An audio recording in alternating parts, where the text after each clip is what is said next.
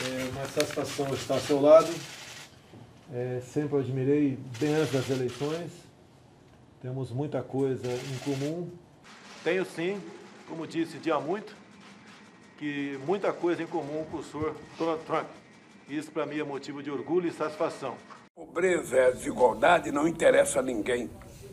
Ou seja, eu acho que esse gesto que estamos fazendo aqui, sabe, em pleno coração dos Estados Unidos, tentando despertar a expectativa da esperança.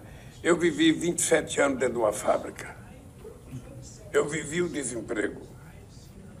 Eu vivi o mundo das greves. Aliás, aliás, a, a, ontem o meu ministro do Trabalho foi visitar os sindicalistas americanos que estão em greve aqui na indústria automobilística. E, e eu acho que é um momento de ouro para nós.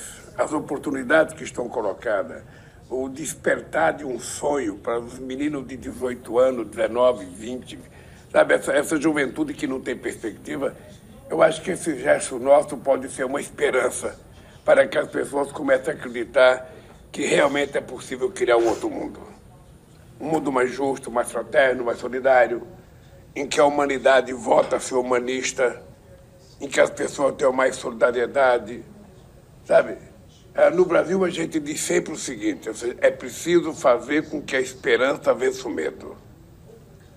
E esse gesto que nós estamos fazendo aqui é um despertar de esperança para milhões e milhões de brasileiros e americanos que precisam ter a oportunidade de viver na vida, de vencer, de trabalhar e de constituir sua família decentemente.